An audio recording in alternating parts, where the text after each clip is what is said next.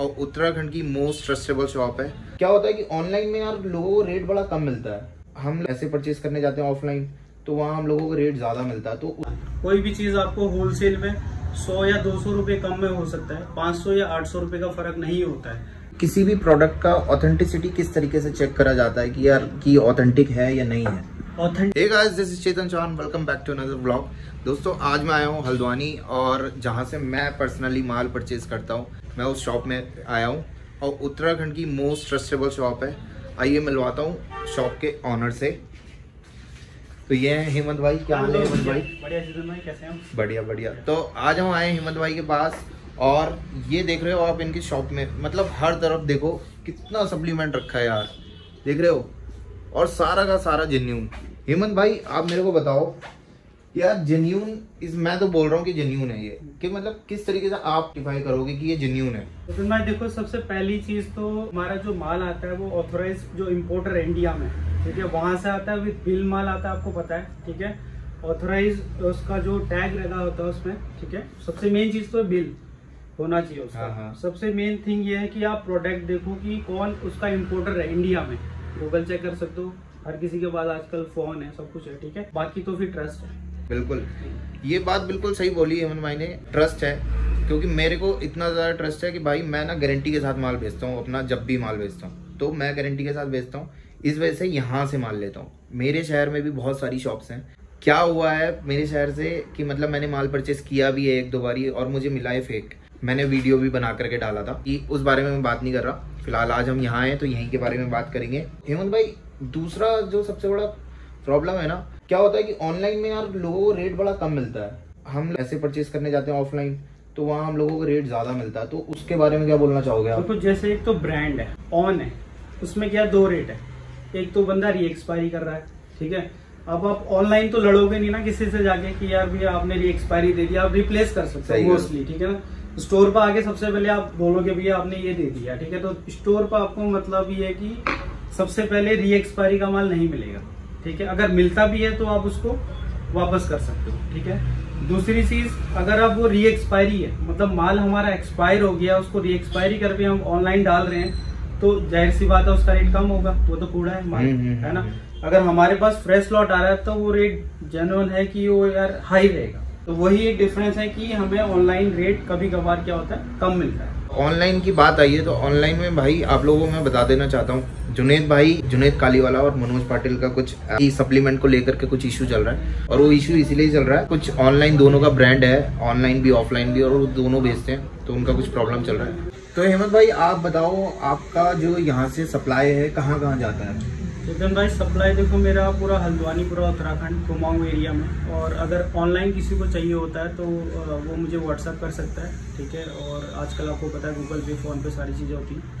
तो ये सारी चीज़ें हम ऑनलाइन भी देते हैं पूरे मतलब ऑल ओवर इंडिया और अगर लोकल में है बंदा तो उसको हम ईजी टू जैसे आपको देते हैं हम लोग कि बाई ट्रांसपोर्ट या जो भी आता है लोकल कन्वेंस के थ्रू से रहता है। और अगर किसी को स्टैक चाहिए हो पूरा और कोई नया बच्चा है उसको डाइट प्लान भी चाहिए हो तो? देखो हम जो नया बच्चा आता है उसको हम ज़ीरो लेवल से स्टार्ट कराते हैं कि क्या प्रोटीन होता है सब कुछ उसको समझाया जाता है। डाइट प्लान आपको फ्री में मिलता है। सपोज़ कोई आता है बंदा मेरे पास कि भैया लो बजट है या फिर मेरा बजट नहीं है तो हम फ्री ऑफ़ कॉस्ट उसको डाइट प्लान्स भी देते हैं।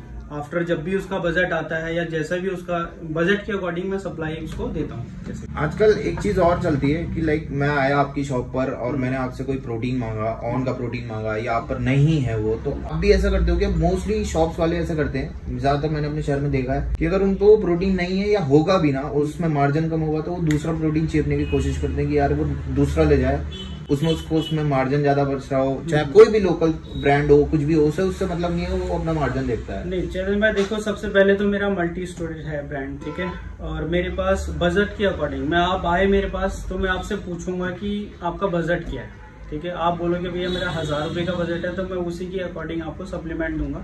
कोई बंदा बोल रहा है, भैया, मुझे ऑन ही चाहिए कोई भी ब्रांड एक्स बजट कोई भी चाहिए तो उसके बजट के अकॉर्डिंग हम उसको देते हैं सबसे पहले तो। सपोज़ वो ब्रांड नहीं है मेरे पास तो मैं उसको स्विच कराऊँगा कि भैया ये सेम ब्रांड है सेम उसको न्यूट्रिशन वैल्यू वगैरह समझा के उसको हम देते हैं ये सारी चीज़ें। और आजकल देखा है कि कोई भी सप्लीमेंट शॉप खोल करके बैठ रहा है, किसी को नॉलेज है, नहीं है।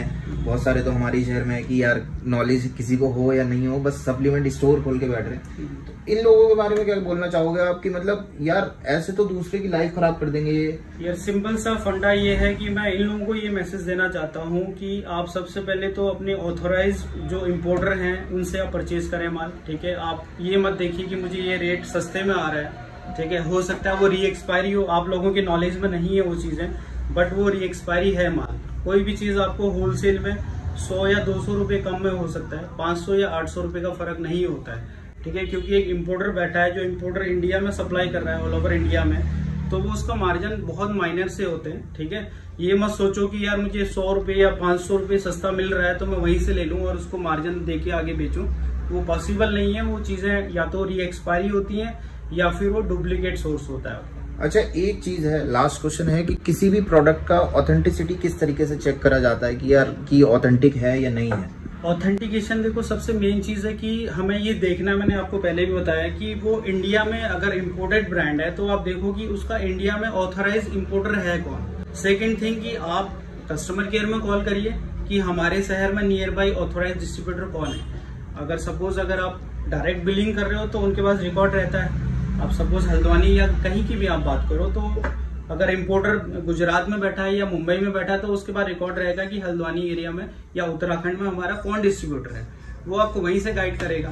तो इसके थ्रू आप ले सकते हैं, अगर जेनवन चीज़ आपको लेनी है तो भाई, अहिमत भाई, बहुत ही सही जेन्यून बात बोल रहे हैं। एक चीज़ मैं आप लोगों को और भी बोलना चाहूँगा कि कुछ लोग प्राइस देख करके ऑनलाइन पर जो जाते हो ना, बिल्कुल भी मत जाओ। अगर ऑनलाइन आप लोग जा भी रहे हो ना तो पता नहीं कि आपको क्या प्रोडक्ट मिल रहा है, क्या नहीं मिल रहा है। मैंने एक वीडियो डाला भी था जिसमें फेक प्रोडक्ट बन रहा था और फ्लिपकार्ट के डब्बे वगैरह पूरे रखे हुए थे। तो मतलब बताओ, इतनी बड़ी साइट से अगर आप ऑनलाइन मंगा रहे हो और उसमें भी आपको फेक मिल जाए और आपको पता ही नहीं है, आपके पैसे भी वेस्ट हो रहे हैं टाइम भी वेस्ट हो रहा है, आपको ऑनलाइन मंगाना है, आप हेमंत भाई का नंबर मैं डिस्क्रिप्शन में डाल दूँगा। आप डायरेक्टली क्या करो, अपना स्टैक तैयार करो, उनको कॉन्टेक्ट करो और उनसे मंगा लो। नहीं तो मेरे से कॉन्टेक्ट करो, मेरे थ्रू मंगा लो, क्योंकि माल दोनों साइड से एक ही जगह से जा रहा है। हेमंत भाई का शॉप का एड्रेस है, वो मैं डिस्क्रिप्शन में डालूँगा। बाकी आपको कोई बात करनी हो तो आप डायरेक्टली मेरे से कर सकते हो हेमंत भाई से कर सकते हो। पूरा गाइडेंस मिलेगा और ऑथेंटिसिटी की पूरी पूरी गारंटी मिलेगी। तो दोस्तों, यही था ब्लॉग में।